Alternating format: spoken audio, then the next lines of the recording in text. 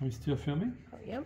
Okay, so what are you doing? You're No, releasing the paint skins from you're releasing paint skins from the from the The frame. the frame in which they were dried. Okay. What are you going to do with these skins? I'm going to do collage and craft and